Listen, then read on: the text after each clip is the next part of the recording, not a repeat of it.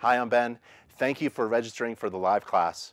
Save and bookmark the link right down below, and I'll see you in class.